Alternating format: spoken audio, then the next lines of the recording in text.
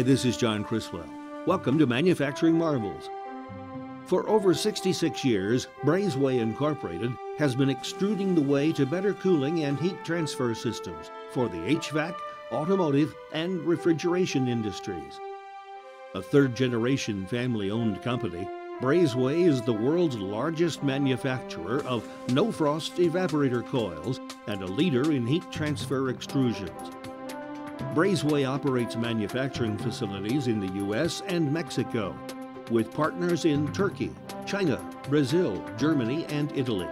No other extruder in the world offers both extrusion and heat exchanger fabrication, along with the quality and benefit of total product design capabilities.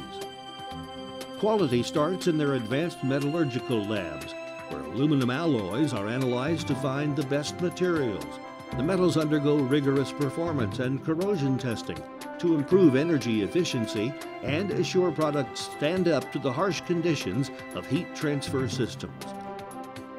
In-house environmental chambers put new designs to the test. This has led to the introduction of new alloys and cutting-edge product innovations.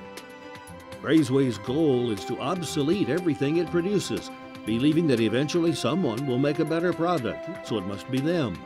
That goal is what made them an industry trendsetter during the 1950s, when they'd helped pave the way for the widespread use of aluminum in the refrigeration industry.